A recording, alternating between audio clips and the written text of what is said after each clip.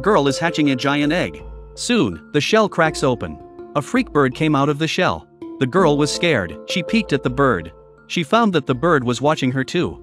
The bird took the girl's hand and let her touch its head. And that's how they became good friends. The girl would bathe the bird. She would sing her lullabies to put her to sleep at night. The girl feeds the bird, but the bird won't eat. Strangely enough, the girl ate all the feed. The bird became the girl's guardian. The girl is always kept awake by the neighbor's dog. The bird killed the dog for her. The girl was terrified, but she didn't blame it. Next day, she secretly buried the dog. In the dance studio, a classmate took away her principal position. The girl was angry, she cursed her classmate never dance.